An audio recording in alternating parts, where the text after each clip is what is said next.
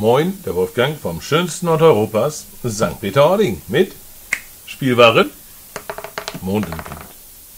Mit Abluchsen hat die Firma Amigo Spiele ein Spiel neu aufgelegt, das es bereits schon einmal auf dem Markt gab.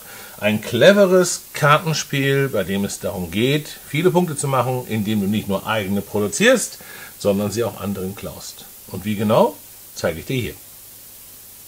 So, das ist Abluchsen in der Grundvariante, das heißt äh, in der Ausgangssituation für drei Spieler. Jeder Spieler hat 13 Karten erhalten. Hier vorne haben wir einen zentralen Bereich, in dem sechs Karten aufgedeckt sind. Einen Nachziehstapel. Hier kommt der Ablagestapel hin und jeder Spieler besitzt vor sich nochmal einen separaten Punktebereich. Die Karten, die er dort ablegt, sind Pluspunkte. Jede Karte ein Pluspunkt. Deswegen versuchen wir natürlich, diesen Bereich der Mitspieler möglichst klein zu halten, unseren Bereich möglichst groß zu halten und da die Handkarten am Ende, also die Anzahl der Karten, die du am Ende noch auf der Hand hast, Minuspunkte sind, versuchen wir natürlich auch dort unsere Handkarten abzuspielen, aber dafür zu sorgen, dass unsere Mitspieler möglichst viele davon bekommen. Gut, los geht's. Bist du an der Reihe, hast du erst einmal die Aufgabe, mindestens eine Karte in deinen Punktebereich zu spielen. Ähm, du kannst auch mehrere Karten spielen, sofern die denselben Wert haben oder den gleichen Wert. Ähm, ich würde jetzt, sagen wir mal, ich würde jetzt erst einmal eine 2 spielen. Ja, ich spiele erstmal eine 2. So, eine einzelne Karte mit dem Wert 2. Nachdem man das getan hat, schaut man, ob jemand anderes in seinen Punktebereich als letztes genauso viele Karten ausgespielt hat, sprich eine.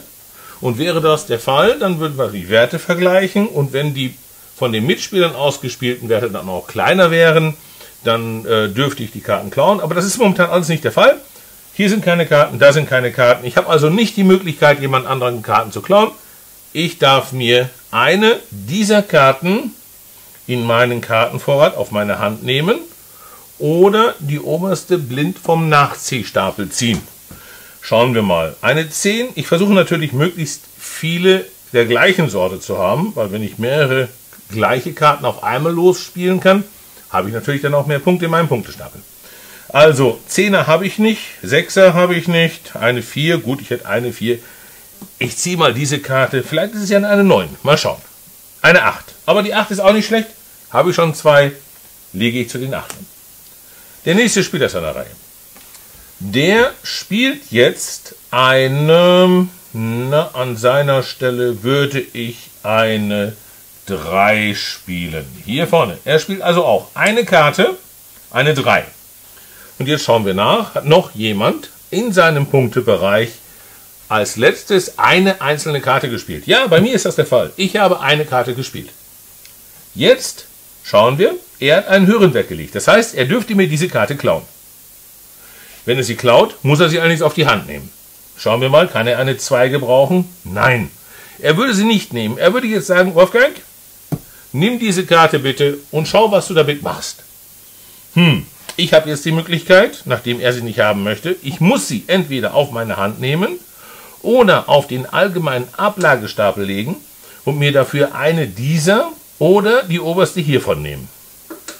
Schauen wir mal, ich habe wieder genau die gleiche Situation, die ich eben hatte. Ich würde die zwei nicht aufnehmen. Ich lege sie auf den Ablagestapel und ziehe mir dafür die oberste hiervon. Glücklicherweise noch eine 8. Das trifft sich gut, das weiß er aber nicht. Der Spieler ist an der Reihe. Der Spieler spielt, ja, er spielt zwei Dreier. Er spielt zwei Dreier, hat somit ein Pärchen gespielt. Wir schauen nach, hat noch jemand als letztes zwei gleiche Karten gespielt? Das ist nicht der Fall. Das heißt, da er niemand anderem aus seinem Punktebereich Karten klauen kann, darf er sich eine von diesen oder diese aussuchen. Und da er hier schon drei Zehner liegen hat, wird er sich wahrscheinlich für eine 10 entscheiden. Er nimmt die 10 in seine Karten auf, damit hat er hier schon einen Vierling die Auslage wird wieder um eine Karte ergänzt. Und der nächste Spieler, sprich ich bin an der Reihe. Im Spiel selbst gibt es noch diese Kartenart. Das ist ein Joker. Der Joker kann mit jedem anderen Kartenwert gespielt werden und nimmt dessen Wert an. Das heißt, angenommen, dieser Spieler würde diese beiden Karten und den Joker spielen, dann wären das drei 13er. Den Joker alleine gespielt oder mehrere Joker alleine gespielt, sind eine 14. Es sind Zahlwerte von 1 bis 13. Der Joker allein gespielt ist die höchste Zahl. Ja, was würde ich machen? Ich könnte die Dreier klauen, indem ich einen Zwilling lege. Ich könnte die drei entweder klauen oder ihm wieder auf die Hand geben. Ich kenne ja seine Handkarten nicht. Ähm, ich würde aber wahrscheinlich, ja, ich spiele zwei Fünfer. Ich spiele zwei Fünfer und sage diesem Spieler, ich möchte die beiden Dreier nicht haben. Jetzt hat er die Möglichkeit, sie wieder auf die Hand zu nehmen oder abzulegen so, abzulegen. Na, komm her. Das macht er, weil die Dreier kann er nicht gebrauchen. Und muss zwei Karten auf seine Hand nachziehen. Er wird natürlich die 10 nehmen, weil er ja hier die Zehner sammelt. Und eine 2 wird er nehmen, weil er hier schon zwei Zweier hat. Diese Karte kommt hier hin. Eine 3 und eine 5. Ich ziehe keine Karten nach. Ich habe ja dafür gesorgt, dass er weniger Punkte besitzt. Dieser Spieler ist am Zug. Er kann mir jetzt natürlich auch die Fünfer klauen. Ja, machen wir mal. Guck mal hier, er hat ja schon zwei Fünfer auf der Hand. Das ist keine schlechte Idee. Er nimmt zwei Achter, spielt ein Achterpärchen. Dadurch, dass er jetzt das Achterpärchen auf die drei gespielt hat, kann die drei nicht mehr geklaut werden. Jedenfalls nicht, solange die Achter da liegen. Und nimmt sich diese beiden Karten auf die Hand. Da er mir die beiden Karten geklaut hat, muss ich zwei Karten nachziehen. Das kann wiederum von hier oder von da sein. Ich ziehe die erste Karte von hier, eine 9, das ist gut, und ziehe noch eine Karte von hier, eine 13. Das spielen wir jetzt reihum so lang, bis entweder hier keine Karten mehr sind und die Sechser nicht mehr aufgefüllt werden können, oder ein Spieler keine Handkarten mehr hat. In beiden Fällen ist das Spiel ab sofort beendet. Und dann wird gewertet. Jede Karte, die du in deinem Punktebereich hast, zählt einen Pluspunkt. Jede Karte, die du noch auf der Hand hast, zählt einen Minuspunkt.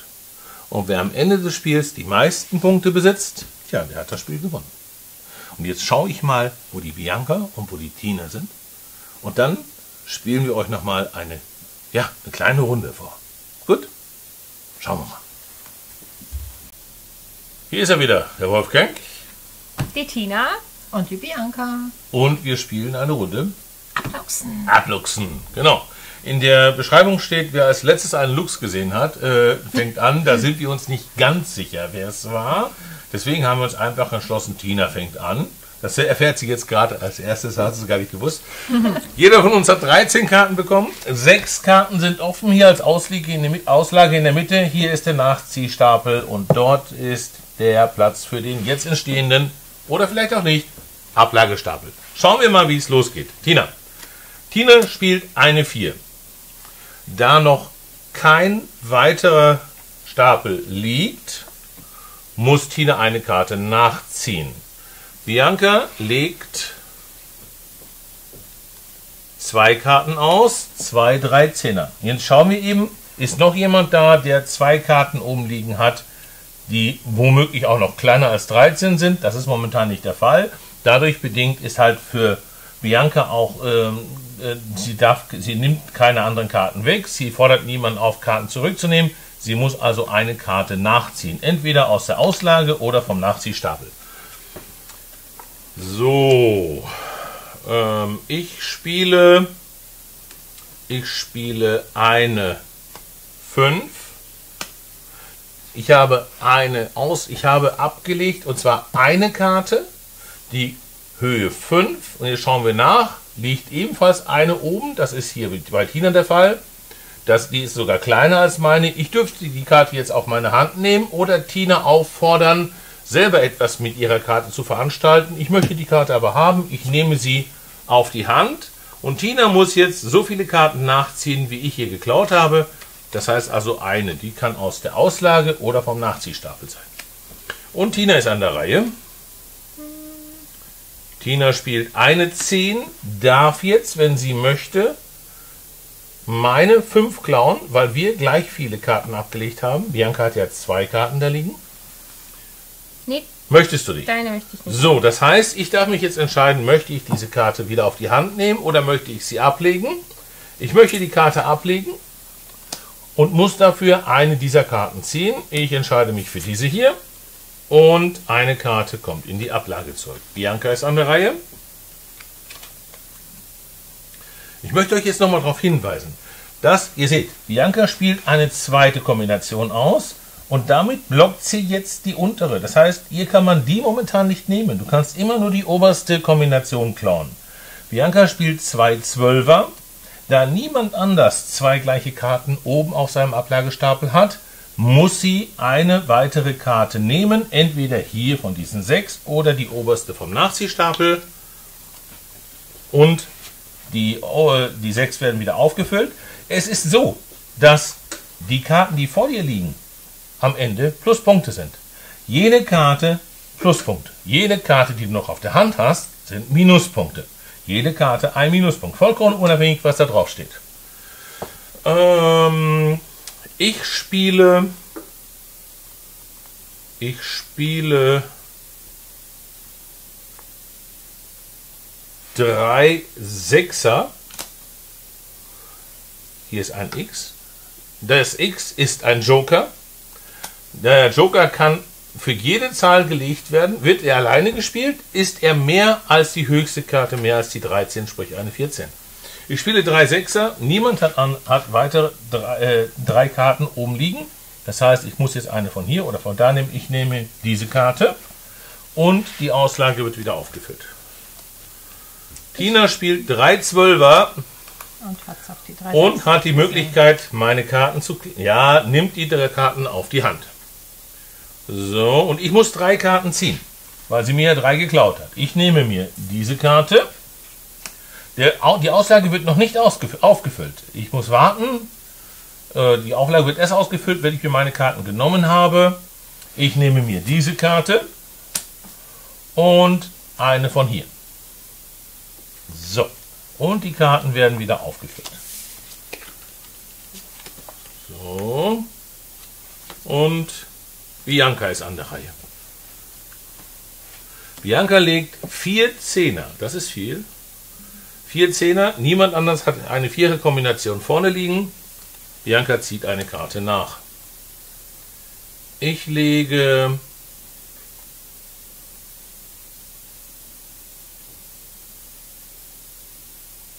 Ich lege fünf Vierer und ziehe eine Karte nach, da ich niemanden die Karten nehmen kann. So, Tina antwortet, indem sie zwei Elfer liegt. Niemand hat eine Zweierkombination oben. Tina muss eine Karte ziehen. Bianca ist an der Reihe und spielt zwei Neuner. Zwei Neuner. Hier liegt zwar eine Zweierkombination oben, aber die sind höher als Biancas Neuner. Deswegen darf Bianca diese nicht nehmen. Du darfst immer nur die gleichen, gleiche Anzahl Kombinationen nehmen, äh, wenn sie im Wert kleiner sind als das, was du gespielt hast. Ähm, ich spiele